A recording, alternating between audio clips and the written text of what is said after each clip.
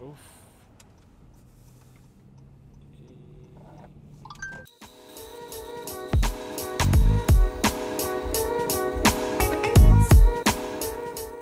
Hey guys, it's Harpreet. Well, you guys was wondering that it would be someone else. Someone that you used to see on this channel. But the joke is on you. He's not coming here. Or maybe he is. I would like to introduce you to Mr. Amrit. Welcome to his channel, Amrit's YouTube channel. So this is his second vlog. And we have a few questions for Amrit written down on here that we're gonna ask. And I have answers. Whoa, you already got some answers. Yep. Alright, Amrit, so what is the purpose of this video? So this video is to help you understand what is the exposure triangle. Alright, well, I don't know what's that, honestly. And I did for sure read your article, and I guess that's what you're holding right Yeah. now. Alright, sorry, wait. The exposure triangle that you're doing, is it for just Canon cameras, or it can be used with whatever camera your, uh, your, you know, your viewers have?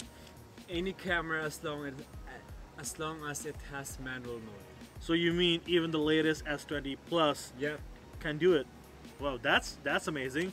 Well, guys, if you want to see more of most more of me and Amrit interacting, go check out my channel. Well, back to Amrit.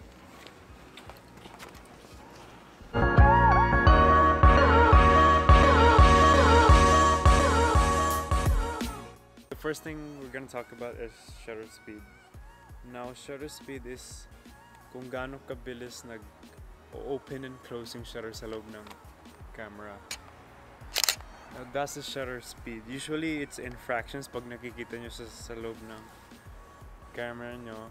Let's focus. And shutter speed controls light that's coming in your camera and how your camera sees motion. So, the faster the shutter speed, the lesser light is gonna come into your camera kasi it was only open for a shorter period of time. Shutter speed is slower, then mas maraming ilaw ang papasok sa loob ng camera, resulting in a brighter image because it was open for a longer period of time. Now, how shutter speed sees motion is, for example, this photo right here. Pag tumatakbo siya, so kung gusto ko siyang sharp, kailangan kong mas mabilis na shutter speed, at least yung mas mabilis kaysa sa kanya. But if I want to get yung tinatawag nating motion blur, habang tumatakbo siya, kailangan natin ng mas mabagal na shutter speed. Maybe around 1 over 50. Something like that. Just a quick note, pag mas mabagal ang shutter speed, kailangan yung mas maiging hawakan yung camera para hindi ma-introduce yung camera shake sa loob ng image. Pag may camera shake, blurred yung image. And that's why pag naglo-long exposure sa mga photographers, speci- especially pag um, astrophotography, picture nila stars, they use tripod or nilalagay nila sa isang place yung camera para hindi gumalaw during the exposure. Next up is the aperture. Now, unlike shutter speed, the aperture is depende naman siya sa lens na gagamitin nyo, hindi sa camera. And while shutter speed is expressed in seconds, aperture naman is expressed in f-stop numbers. So you may have seen numbers like f1.8, f4, or f5.6. And then aperture is like opening or closing sa loob ng lens nyo. Makikita nyo may maliit na butas na gumagalaw doon pag change yung aperture. So it controls the light that's coming in your camera and also the depth of field. Firstly, yung light muna pag-usapan natin. Kung mas mataas ang f-stop number, something like f6.3 or f11, mas maliit yung opening sa loob ng camera. That means mas konting ilaw na papasok, resulting in a darker image. Pero pag mas maliit yung f-stop number, something like f1.8, mas malaking opening sa loob ng lens. And that means mas maraming ilaw ang papasok.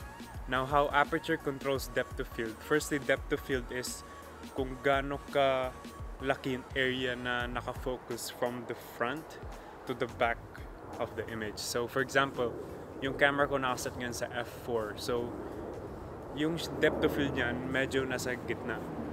Nakikita niyo yung out of focus yung background. Then, pag naglagay ako something sa harap, out of focus din siya. So, pag mas maliit yung number, mas shallow yung depth of field. Meaning, mas konti yung area na nakafocus from front to back. That's why pag ginagamit yung apertures like f1.8 for portraits, mas separated yung subject pag nakafocus sa kanya kaysa sa background. Mas blurry yung background. Pag mas mataas naman yung f-stop number, mas malaking area na nakafocus from front to back. And usually, ginagamit to sa landscape kasi gusto nilang sharp lahat, like in focus lahat from foreground, midground to background.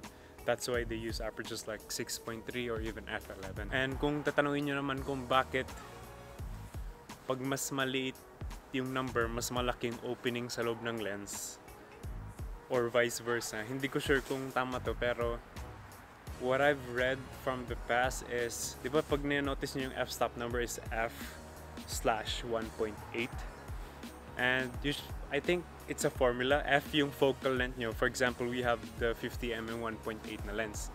So pag nakaset siya sa aperture na 1.8, it's 50 div- slash meaning divided by 1.8. So pag mas maliit yung number na nagde-divide sa 50, mas malaki yung result. And I think the result is the diameter or radius ng opening sa loob ng lens. But I'm not sure. Yun yung nabasa ko. That's why pag mas maliit yung number, mas malaki yung opening sa loob ng lens. Now lastly, the last part of the exposure triangle is the ISO. I don't know the meaning of ISO pero it's how sensitive your camera, specifically the camera sensor is to light. So it usually makita yung numbers na ISO 100, 200, 400, 800 or 1600. It also controls kung gaano ka bright or dark yung image nyo. Pag mas mataas yung ISO number around like for example 6400, mas sensitive yung camera sa light so mas bright yung image na makikita nyo. But with the cause of noise or grain, pwede nyo isipin yung ISO as fake light. Pag ginawa nyo lahat for shutter speed and aperture, dark pa rin yung image, dun magiging malaking tulong yung ISO. Pero mag-iingat lang tayo kasi habang mas tinataas natin yung ISO, mas maraming grain or noise yung napapasok sa image. But if that's the style you're going for, then go for it. And pag mas mababa naman yung ISO, syempre mas dark yung image. But mas clean. There's no noise, no grain, mas sharp ng mas mas sha- mas sharp siyang tingnan. Usually, um, dito rin binibase yung low light performance ng isang camera. For example, kahit itaas mo yung ISO niya ng like 66,400 mga ganon, and wala pa rin masyadong ini-introduce na grain, that means good yung low light performance ng camera. But like pag nilagay mo ka mo pa lang sa 400, may noise at grain na nakikitang visible, that means pangit yung low light performance ng camera.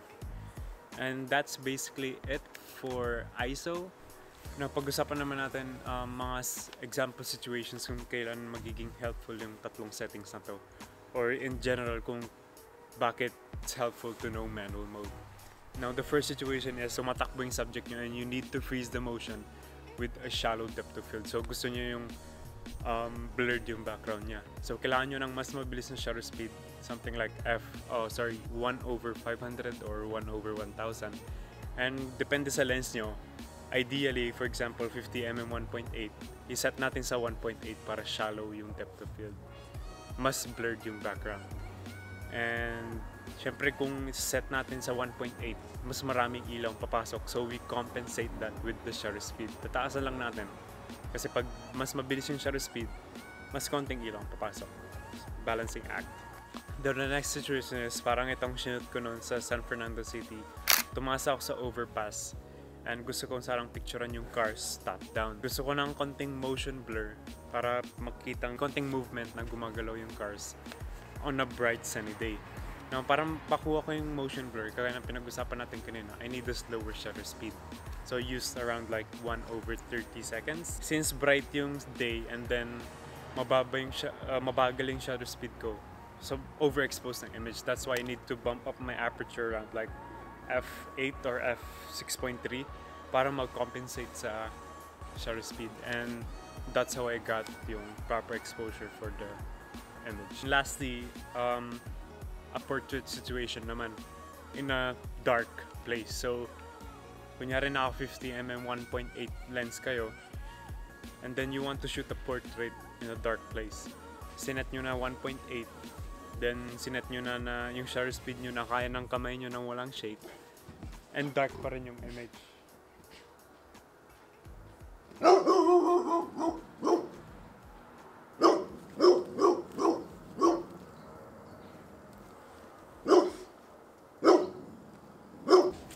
dito na papasok yung tulong ng ISO. So, siyempre, you are handheld, naka f1.8 na, and underexposed pa rin yung image. Kailangan nyo ng taasan yung ISO nyo with the cost of adding grain. Now, those are parang example situations kung how those three settings work together. Quick recap, shutter speed, ito yung kung gaano kabilis nag-open and close yung shutter sa loob ng camera. And it's usually expressed in seconds. Kung mas mabilis yung shutter speed, mas konting ilaw ang papasok. Kung mas mabagal ang shutter speed, mas, ma- mas bright yung image kasi mas maraming ilaw ang papasok. For apertures, the opening inside your lens, pag mas mataas yung f-stop number, mas maliit yung opening sa loob ng lens. That means mas konting ilaw na papasok. Pag mas mababa yung f-stop number, something like f1.8, mas malaki yung opening sa loob ng camera. That means mas marami yung ilaw na papasok sa loob ng camera. Lastly, ISO, you can consider this as fake light. Pag ginawa niyo lahat for shutter speed and aperture, dark pa rin yung image, dito maging mal- malaking tulong yung ISO. Kung mas mataas ang ISO number, mas bright ang image, pero mas maraming noise or grain. Pag mas mababa naman, mas dark yung image, pero mas malinis, sharper, no noise or grain. And then, if may tanong kayo, just ask me. And then, if hindi nyo pa rin masyadong naiintindihan. Oh my God. So that was it for today's video. Sana naiintindihan nyo yung mga sinasabi ko. If not, I made the blog post about this few months ago. So if you learned better by reading, pwede nyo siyang basahin. Like down, it's linked down below. And then, pag naging malaking tulong to sa inyo, please do share and subscribe if you haven't. Thank you for watching.